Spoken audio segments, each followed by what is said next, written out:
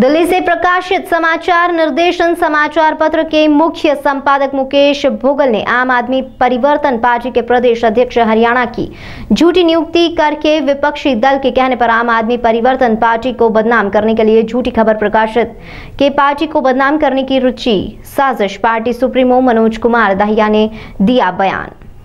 दरअसल समाज समाचार निर्देशन, समाचार पत्र में आज आम आदमी पार्टी परिवर्तन पार्टी के हरियाणा प्रदेश अध्यक्ष की नियुक्ति की खबरें। पूरे पेज पर जानबूझकर समाचार निर्देशन, समाचार पत्र में पार्टी को बदनाम करने और लोगों के साथ धोखा देकर पार्टी के नाम पर पैसा इटने के नाम पर निकाली जिसका आम आदमी परिवर्तन पार्टी के राष्ट्रीय अध्यक्ष मनोज कुमार दहिया ने कड़े शब्दों में विरोध किया। उन्होंने कहा कि हमारी इस नियुक्ति से किसी भी प्रकार का कोई भी नाता नहीं है।